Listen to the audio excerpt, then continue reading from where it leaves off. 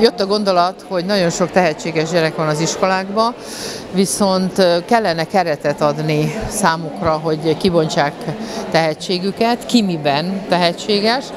Én mindig elmondom a tudós jelölteknek is, hogy az alkalom szüli nem csak a tolvajt, a tudóst is, a tehetséget és az énekest, mert hiába van valakinek jó hangja, ügyes táncos, ha nem figyelnek fel rá, nem adnak lehetőséget, hogy képezze magát, nem segítik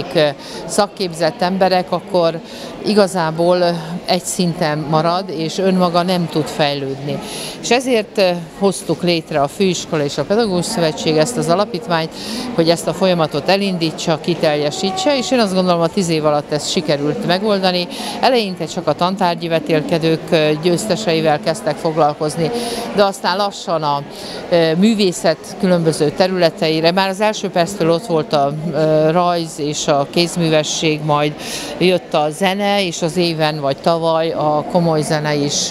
belépett a tehetséggondozás műhelyi közötti helyt kapott a tehetséggondozó műhelyben, és a testneveléstől kezdve az összes tudomány területig néptánc alkotótáborokat szerveznek, és megmozgatják a gyerekeket, akik nagy örömmel jönnek, hiszen akkor jutnak valamilyen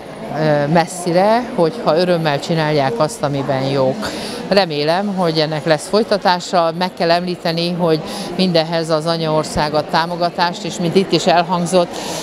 ez egy nagy szervező munka, ezúton szeretném megköszönni az tehetség a Géniusz Alapítvány igazgatójának, Váradi Natáliának, hiszen ez a sok támogató azt is jelenti, hogy nagyon sok helyre kellett nekik pályázni ahhoz, hogy a programjukat megvalósítsák, és Ebben nagyon ügyesek az alapítvány munkatársai, és szerintem jól csinálják a feladatukat. Létrehoztak géniuszpontokat, és ebben az évben, miután volt egy közigazgatási átalakítás, Ukrajnában bővítjük a géniusz